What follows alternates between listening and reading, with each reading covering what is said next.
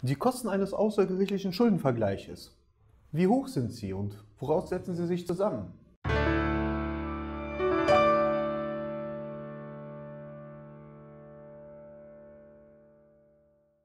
Schönen guten Tag, meine Damen und Herren, und herzlich willkommen beim Videochannel der Kraus-Gendler-Rowinski Anwaltskanzlei. Ich bin André Kraus, ich bin Rechtsanwalt und ich bin mit meinem Team spezialisiert auf anwaltliche Schuldnerberatung. Und in diesem Video geht es um die Kosten eines Schuldenvergleiches. Wie hoch sind die Kosten und wie werden sie überhaupt getragen? Die Kosten eines Schuldenvergleiches bestehen in den allermeisten Fällen nur aus einem einzigen Posten, und zwar aus dem Honorar des Anwalts.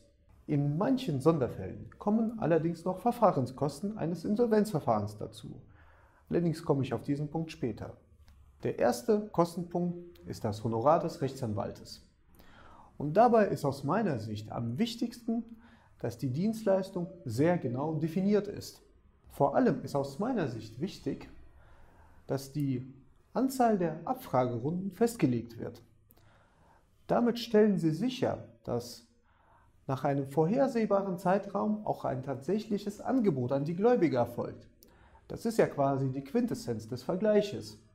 Damit werden die Gläubiger dazu bewegt, sich mit ihrem Angebot auseinanderzusetzen. Ein weiterer wichtiger Punkt des Honorars ist die Möglichkeit einer Ratenzahlung. Ein Sonderfall sind sogenannte Verfahrenskosten bei einem außergerichtlichen Vergleich. Dieser Sonderfall tritt aber immer wieder ein, und zwar in den Fällen, in denen der Vergleich eigentlich gescheitert ist, aber eine Kopf- und Summenmehrheit entstanden ist. In diesem Fall beantragen wir beim Insolvenzgericht die Durchführung eines gerichtlichen Vergleiches.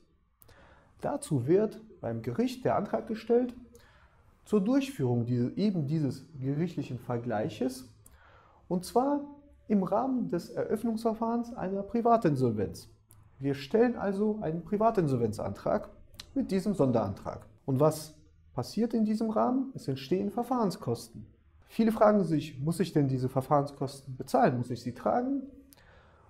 Die Verfahrenskosten, die werden durch einen sogenannten Stundungsantrag nach hinten verlagert. Wir stellen den Stundungsantrag in fast allen Fällen von gerichtlichen Vergleichen und die Verfahrenskosten müssen erst getragen werden, wenn der Vergleich tatsächlich abgeschlossen worden ist. Ist der Vergleich aber zum Beispiel nicht erfolgreich, werden die Verfahrenskosten erst nach dem Ende eines Insolvenzverfahrens fällig. Ich hoffe sehr, dass Sie dieses Video informativ und aufschlussreich fanden. Wir haben für Sie eine Menge juristischer Informationen zum Vergleich auf unserer Webseite bereitgestellt. Und wenn Sie eine persönliche Frage zu einem außergerichtlichen Schuldenvergleich haben, können Sie uns gerne über unsere kostenfreie Erstberatungshotline erreichen. Vielen Dank für Ihre Aufmerksamkeit und gerne bis zum nächsten Mal. Auf Wiedersehen.